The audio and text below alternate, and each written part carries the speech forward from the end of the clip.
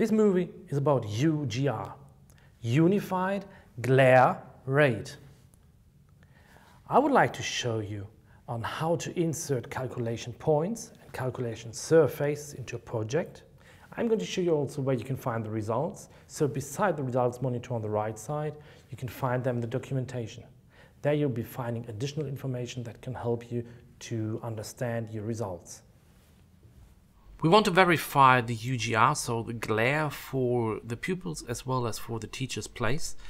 And all lights already installed. What we have to do is insert calculation objects. This could be either calculation surfaces or calculation points. I would like to start with the calculation surface and select just randomly one or two tables for the pupils. I have to define the UGR as the parameter for calculation and not the illuminance. So I'm deselecting illuminance and selecting UGR. I'm creating a rectangular calculation surface, for example, for this area.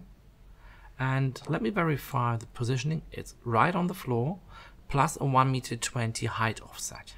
I have here step width of 15 degrees, which is the finesse of the calculation, which is how fine we're going to calculate and the viewing angle. So I could reduce that just to 180 degrees, which is from 0 degrees 180 degrees, so only regarding the view towards the whiteboard.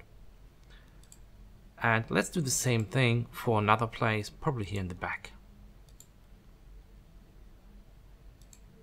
Like this. Height is okay. Verify the position. And additionally, I want to let you know that we have the possibility to change the measuring grid, automatically creating points, here in this case are 5, and we could change the quantity here by inserting another number or distance according to our opinion. But let's go switch back to the automatic and again to 180 degrees. For the teacher, I would like to use a point so I'm not going to use the calculation surface, but the calculation point.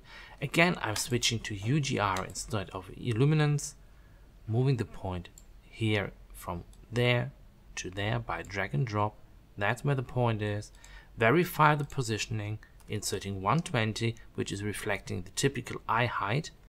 I could probably also insert a second one right in front of the whiteboard. If the teacher is standing, then I would be inserting here 1 meter 60, which is the standardized height for a standing person.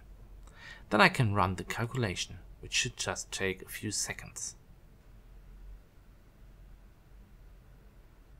Once the calculation is done, we can see already in the results overview that most of the values are already in line with the regulations, which is shown by the green points, while here calculation point 2 has two red dots. It's in this place, and most likely it's due to the wall washers here directed at the whiteboard. Let's have a look at the documentation in detail. Here we have automatically some of the possible results.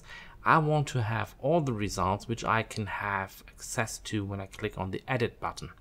We have calculation surface 1 and 2, Plus we have been inserting uh, the summary of the points, the result summary of the surfaces, and we can close the edit and have a look at the different results. Calculation surface 1 and 2, results overview. So here we have values at 14 and some even below 10.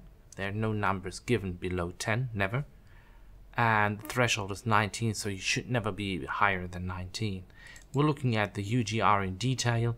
You see the best result is highlighted with 13 here it's white. The worst results are fat or bold.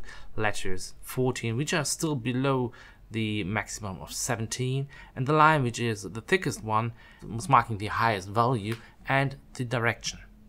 If you're exceeding the threshold of 17, the lines would be red.